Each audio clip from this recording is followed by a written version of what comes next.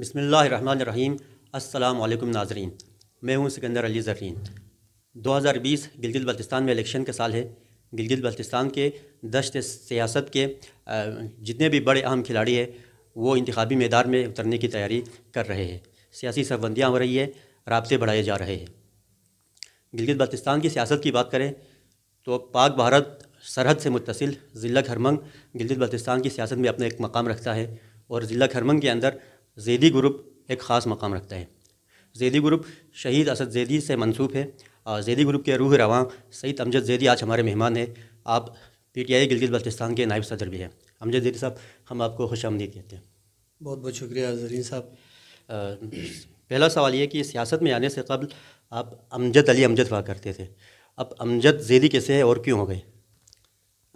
الحمد للہ جی میں امجد علی امجد کے حوالے سے بھی معتبر رہا ہوں اور اس حوالے سے میں ہماری ایک بزم ادب، بزم علم و فن کے حوالے سے میں بات کروں گا۔ وہاں پہ ایک ادبی تنظیم ہے جس کا میں سیکٹری جنرل ہوں اور چونکہ شہید زیدی کی شہادت کے بعد ان سے محبت سے، کی وجہ سے لوگوں نے مجھے زیدی کی جانشین ہونے کے ناطے میدان سیاست میں اترنے کے لیے پورے ہمارے خرمنگ کے عوام نے جنا جس کی قیادت ہمارے شیخ محمد اسماعیل صاحب فرما رہے تھے تو پورے خرمنگ کے عوام کی جانب سے شیخ محمد اسماعیل صاحب نے مجھے دعوت دی کہ آپ زیدی کے جانشین کے طور پر سامنے میدان سیاست میں بھی آپ ان کا جانشین بنے یعنی آپ خاندانی طور پر حسینی سید تھے اور چونکہ اسد زیدی کے آپ سیاسی جانشین ہیں تو ان کی نسبت سے آپ اب زیدی لگاتے ہیں اپنے نام کے ساتھ؟ نہیں یہ آپ جو ہے متنازع سوالات کر رہے ہیں۔ زیدی زیدی بھی حسینی ہے حسینی کی ایک شاخ ہی ہے۔ جی, جی۔ ٹھیک ہے جی۔ تو وہ کوئی پوچھنے والا آپ کا سوال نہیں تھا۔ اچھا، نہیں تو جی،۔ مطلب آپ خاندانی طور پر جیسا بھی ہو میں زیدی کا جانشین ہوں اور کھرمنگ کے عوام کا آپ زیدی کے جانشین ہی سوچے اپنے نام سے زیدی لگاتے بالکل صحیح۔ اچھا زیدی کی جانشینی کی بات ہو گئی۔ تو اسد زیدی کا یہ رائے امتیاز تھا کہ وہ اپنے زور بازو سے الیکشن لڑتے تھے، آزاد لڑتے تھے، جیتتے تھے اور جیتنے والی پارٹیاں حکومت سازی کے لیے ان کے در پر آتے تھے۔ لیکن یہ لیگیسی تو تقریباً آپ نے ختم کر دیا آپ کو آپ پارٹی ٹکٹ چاہیے۔ میں الحمدللہ، میں بھی خرمنگ کا واحد سیاستدان ہوں، جس کے در پر خود پی ٹی آئی آئی ہے۔ پی ٹی آئی سے مراد پی ٹی آئی کے رہنما ہیں۔ مجھے عمران خان نے دعوت دے کر جہانگیر ترین کے گھر پہ مجھے بلایا اور خود عمران خان نے مجھے ہار پہنایا۔ میں کسی کو ریکویسٹ کر کے درخواست کر کے میں کبھی پارٹی میں نہیں گیا۔ پیپلز پارٹی میں بھی رہے تھوڑے عرصے کے لیے؟ میں پیپلز پارٹی میں بھی گیا ہوں تو ان کی دعوت پر گیا ہوں۔ سید مہندی شاہ نے مجھے دعوت دی۔ اس وقت وہ سی ایم تھے۔ اور پیپلز پارٹی والوں کے ساتھ ہماری کچھ نظریاتی اختلافات ہو گئے۔ اس کے بعد میں پیپلز پارٹی کو چھوڑ چکا۔ چھوڑنے کے بعد پھر جا کے سرور خان اور Zulqarnain Haider P T I میں آ گئے اس وقت پی ٹی آئی ابھی گلگت بلتستان میں نئی نئی شروع ہو گئی تھی۔ آپ ہم کہہ سکتے ہیں گلگت بلتستان کے جو سینئر رہنما ہے ان میں آپ شامل ہیں۔ آپ الیکشن بھی لڑ چکے اور کافی قلیل مارجن سے آپ ہار چکے یہ ایک حقیقت ہے اپنی جگہ پر۔ لیکن پی ٹی آئی میں بعد میں بہت سارے لوگ شامل ہو گئے۔ اس کے بعد یہ گروپنگ کی بات ہو گئی کہ بھائی جیسے راج جلال گروپ اور سعید جعفر شاہ گروپ کی بھی اس طرح کی بات چیت ہو گئی۔ تو آپ کو پہلے یہ سمجھا جاتا تھا۔ میں کہہ رہا ہوں ایک عام تاثر ہے کہ آپ راج جلال کیم میں تھے۔ تو اس وجہ سے سعید جعفر شاہ کے ساتھ آپ کی کوئی اس طرح کوئی اختلافات والی بات چیت تو نہیں ہے؟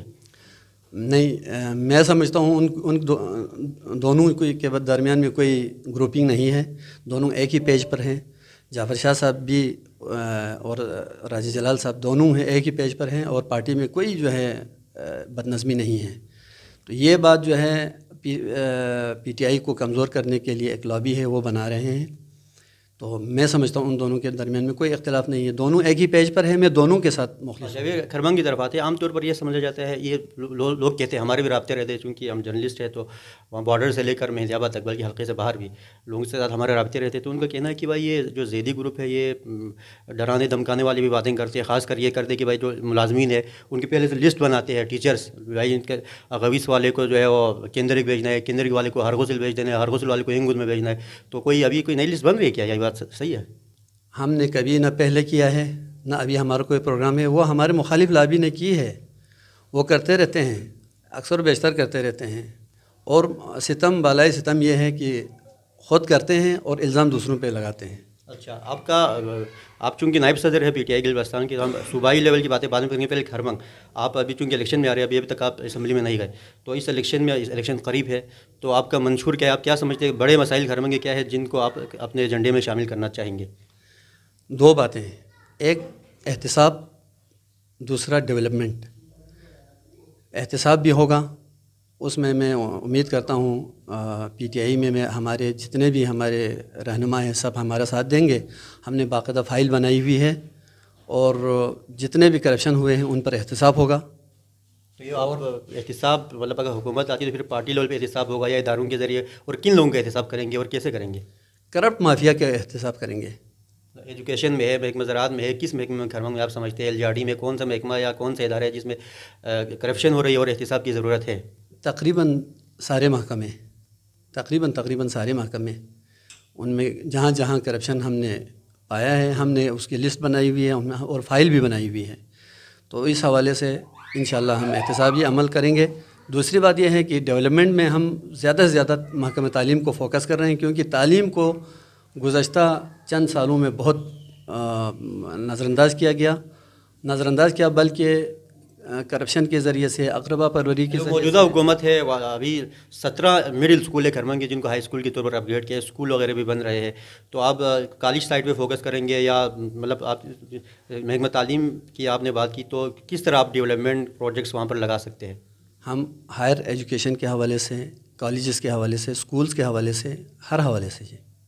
جو کھرمنگ خاص میں ایک کالج بنا تھا بیس سال پہلے۔ اس وقت کہا کہ یہ فیزیبل یہ جگہ فیزیبل نہیں تھی، اس کی وجہ سے تقریباً پچھلے بیس میں سے پندرہ سال آپ ایک طرح سے کہہ لیں وہ نان فنکشنل ہی کہہ لیں، کیونکہ اسٹوڈنٹ کی تعداد بہت کم تھی۔ اب جو ہے اسٹوڈنٹ کچھ اب وہاں پر آ گئے ہیں۔ تو فیزیبلٹی کا خیال رکھیں گے، جہاں پر زیادہ آبادی ہے، اس، ان چیزوں کو مد نظر رکھیں گے۔ کوئی اپر کھرمنگ لور کھرمنگ والی بات تو نہیں ہوگی، پھر سے کوئی تفریق کی بات۔ نہیں، تفریق کی بات نہ پہلے ہوئی ہے، نہ آئندہ ہوگا۔ تفریق کی بات کبھی نہ ہوئی ہے، نہ ہوگی۔ لیکن یہ ہے کہ فیزیبلٹی تو انجینئرس نے دیکھنا ہے بلڈنگ اور اسٹرکچرس کے حوالے سے اور تعلیمی حوالوں سے تعلیمی ماہرین نے دیکھنا ہے۔ میں اکیلا اس میں کوئی بات قطعی نہیں کر اچھا وہاں پر ابھی ایک مطالبہ شدت کے ساتھ سامنے آ رہا ہے۔ کھرمنگ کے اندر جو ہے وہ ایک کم از کم ایک ورنہ دو نئے سب ڈویژن بننے چاہیے کچھ انتظامی یونٹس بنانا چاہیے۔ آپ کا کوئی بیان سامنے نہیں آیا تو آپ نہیں چاہتے کہ وہ انتظامی یونٹس بنے نئے کھرمنگ میں سب ڈویژن بنے تحصیلیں بن جائے آپ یہ کہتے ہیں کہ ہم میں تو واحد شخص ہوں جس نے باقاعدہ پیپر ورکنگ کر کے ہم نے ایک زمانے سے ہم یہ کہہ رہے ہیں۔ آپ نے اپنے پاس رکھی ہوئی ہے۔ نہیں ہم نے ہم نے ڈی سی کھرمنگ کو پیش کیا۔ ہم جو کام کرتے ہیں میونسپلٹی کے حوالے سے آپ نے جو کرتے ہیں۔ آپ میونسپلٹی کے حوالے سے آپ نے ایک پیپر ورک کیا تھا کہ اگر تولتی سب ڈویژن ہوتا ہے تو یہاں سے یہاں تک میونسپل ایریا ہو اور گوہری میں اگر ہیڈ کوارٹر بنتا ہے تو پھر یہ ایریا میونسپل ایریا ہو۔ اب گوہری میں چونکہ وہاں پر بن چکا ہے ہیڈ کوارٹر یا بن رہا ہے مطلب گوہری ڈکلیئر ہو چکا ہے۔ تو اب اس حساب سے آپ کی میونسپلٹی کی جو حدود کیا ہے کہاں سے کہاں تک جو آپ نے پیپر ورک کیا تھا؟ وہ ہم نے ایک پیپر ورک کے تحت جو کیا تھا اس میں مہدی آباد کا جو نالا ہے جو ندی ہے جی جی۔ اس سے لے کر تولتی کا جو کی جو ندی ہے۔ مہدی آباد پل سے لے کر تولتی پل ندی ندی تک آپ اس کو میونسپل لگیں گے۔ تولتی پل۔ اس کے دوران میں ہم نے اپنے پاس رکھا ہوا یا آگے فارورڈ کر دیا ہم نے فارورڈ کر کے ڈی سی کو بھی دیا ہے وہ کمشنر کو بھی بھیج دیا ہے۔ ایک زمانہ پہلے۔ ایک اس پہ عمل درآمد کے لیے مختلف اداروں میں ریونیو سے لے کر چیف سیکرٹری تک آپ کوئی اپنے تعلقات اثر اس کو استعمال کر رہے ہیں؟ چیف سیکرٹری تک پہنچا ہے وہ۔ چیف سیکرٹری تک پہنچا ہے۔ آپ کو امید ہے اس کے اوپر عمل ہو جائے گا؟ ان شاء اللہ اچھا۔ آپ نے کہا سب ڈویژن کے حوالے سے۔ آپ سمجھتے ہیں کہ نئے انتظامی یونٹس بننے چاہیے ضرورت ہے؟ اور اگر ضرورت ہے تو کتنے سب ڈویژن بننے چاہیے؟ اور اس حوالے سے اپنے پیپر ورکنگ ہے اس حوالے سے بتائے گا ناظرین کو۔ بالکل بننا چاہیے۔ سب ڈویژن بھی کم از کم دو تین نہیں تو دو ضرور بننا چاہیے۔ یہ ہماری ضرورت ہے۔ اچھا حلقہ بندی کے حوالے سے کوئی آپ کا بیان یا کوئی پالیسی اسٹیٹمنٹ ابھی تک سامنے نہیں آیا۔ اس الیکشن سے پہلے جو آنے والے انتخابات ہیں ان سے پہلے نئی حلقہ بندی ہونی چاہیے کیونکہ کھرمنگ جو ہے وہ ایک ڈسٹرکٹ ہے۔ تو اس ڈسٹرکٹ کے اندر جو ہے وہ اس کے دو یونین کونسلس آلریڈی باہر ہے تو وہاں کچھ انتظامی مسائل بھی آ رہے ہیں ڈیولپمنٹ کے حوالے سے۔ تو کیا کھرمنگ میں دو حلقے نہیں بننے چاہیے؟ اس حوالے سے بھی میں بات کروں گا۔ ہم نے اس وقت کہا، جب مردم شماری ہو رہی تھی، تو کھرمنگ کے سارے لوگوں نے اس کردوں میں اندراج کرایا۔ میں چلاتا رہا ریکویسٹ کرتا رہا، بلکہ میں نے ایک دفعہ اسٹیٹس بھی میں نے اپنا دے دیا تھا۔ میں نے کہا تھا جی آپ لوگ اپنا اندراج کھرما میں کرائیں تاکہ ہم اس لائق ہو جائیں کہ ہم یہاں دو کھرمنگ اس لائق اس قابل نہیں ہے کہ وہاں پر دو حلقے بن سکیں۔ مجھے نہیں لگتا ہے کہ اب پچپن ہزار کے نفوس کے لیے دو حلقے پہلے ہی سے موجود ہیں۔ خرمنگ میں آپ کہہ سکتے ہیں پہلے حلقہ نمبر تین کا ایک ایسا خرمنگ میں آپ یہ نہیں ڈیڑھ حلقے خرمنگ میں پہلے سے موجود ہے۔ اور شگر جو ہے پورا ایک ڈسٹرکٹ کے اور ایک حلقہ ہے۔ شگر میں جہاں یہ مطالبہ سامنے آ رہا ہے کہ ایک ڈسٹرکٹ کو جو ہے وہ ایک ڈسٹرکٹ ایک حلقہ ہے اس کو دو حلقے بنائے۔ تو خرمنگ میں آلریڈی ڈیڑھ حلقے ہے تقریباً تو ڈیڑھ کو دو نہیں بنا سکتے کیا شگر میں جیسے ایک کو دو بنا سکتے ہیں تو؟ بن تو سکتا ہے کیوں نہیں بن سکتا ہے؟ لیکن جواز تو پیدا کریں نا شگر کی آبادی بھی آپ دیکھیں بہتر ہزار ہے کھرمنگ کی پچپن ہزار ہے۔ مطلب آپ سمجھتے ہیں خرمنگ میں دو حلقے نہیں بن سکتے ٹیکنیکلی نہیں جو جن کو ہم کہہ رہے ہیں جن سے ہم ریکویسٹ کر رہے ہیں وہ کہتے ہیں کہ ایسا نہیں ہو سکتا ہے۔ اچھا یہ کارگل بارڈر کھولنے کے لیے بھی طریقے چل رہے ہیں وہاں پر احتجاج بھی ہو رہے ہیں۔ تو یہ آپ کے منصوبوں میں شامل نہیں کارگل کار- کارگل بارڈر کھولنا؟ یہ ہمارا مطالبہ ضرور ہے لیکن اس میں پاک آرمی انوالو ہے۔ پاک آرمی جو ملکی مفاد میں بہتر سے سمجھ سمجھیں گے ہم اس کو سراہیں گے۔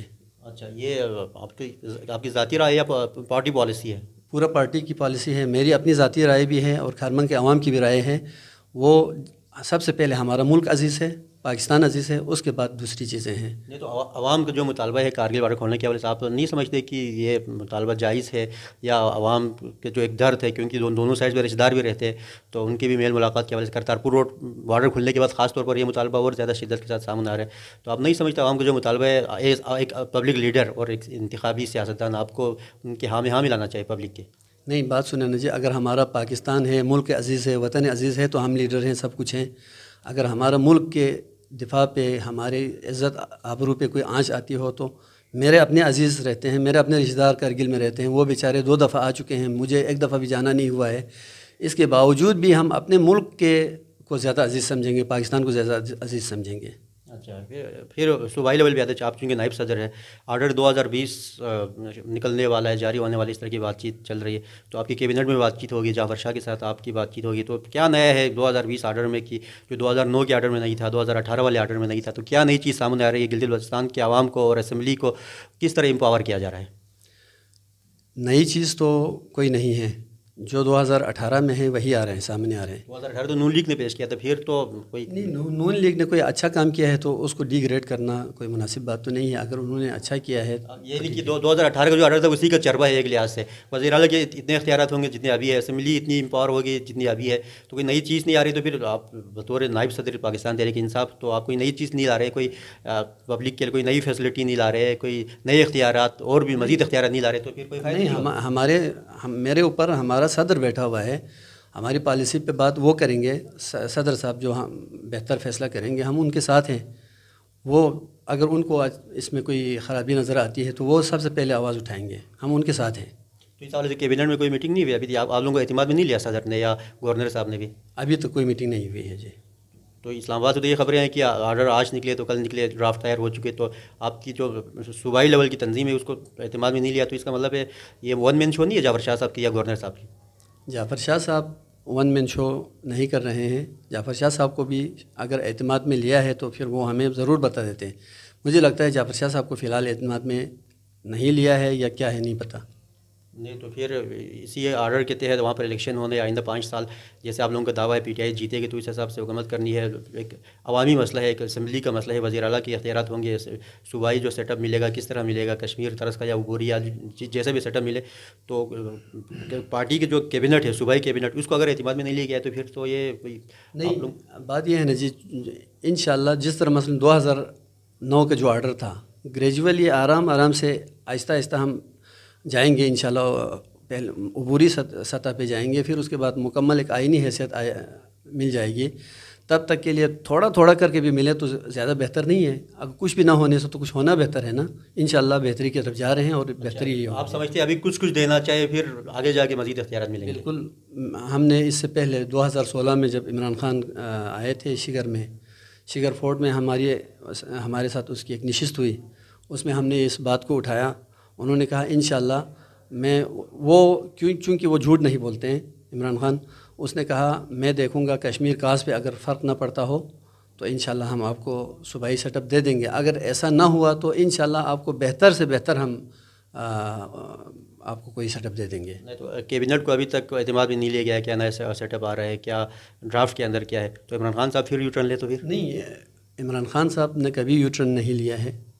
آپ پھر یو ٹرن کہہ کے آپ ایسا کہہ رہے ہیں کہ جیسے کہ عمران خان بار بار یو ٹرن لیتے ہیں۔ عمران خان صاحب تو خود فخریہ کہتے ہیں کہ بھائی یو ٹرن جو ہے بڑے لیڈر کی نشانی ہوتی ہے۔ آپ کہہ رہے ہیں کبھی لیڈر نہیں لیا نے جب جب لوگوں نے یو ٹرن کہہ کر اس کو کہا تو اس نے ازراہ مذاق بھی کہہ دیا ہوگا ایسی کوئی بات تو آپ نہیں سمجھتے ہیں عمران خان نے پڑتا ہے۔ اچھا عمران خان نے کبھی یو ٹرن لیا آپ یہی سمجھتے ہیں۔ جی بالکل۔ اچھا پھر کھرما کی طرف آتے ہیں جو وہاں کے منتخب نمائندے ہیں اور صوبائی وزیر ہے اقبال حسن تو ان کی پرفارمنس سے آپ کس حد تک مطمئن ہیں؟ اس پہ میں کوئی کمنٹ نہیں کروں گا۔ عوام دیکھ رہی ہے عوام کو خود پتہ ہے کہ ان کے پرفارمنس کیا ہے۔ اچھا وہ چونکہ صوبائی وزیر ہے اور وہاں ان کا ایک حلقہ انتخاب بھی بن رہے کچھ سرکل بن رہے تو ان کی طرف سے کوئی آپ کو آئندہ الیکشن کے حوالے سے کوئی خوف یا کوئی کوئی ہے اس طرح کی چیز؟ بھائی اقبال حسن اب وہ بھی لیڈر بن چکا ہے وہ نیا نہیں رہا ایک منجے ہوئے سیاستدان بن چکے جی وہ لیڈر بنایا گیا لیکن مجھے ان کی طرف سے کوئی ڈر کوئی خوف نہیں ہے۔ بہت بہت شکریہ۔ ناظرین، اسی کے ساتھ اپنے میزبان سکندر علی زرین کو اجازت دیجیے۔ اللہ حافظ۔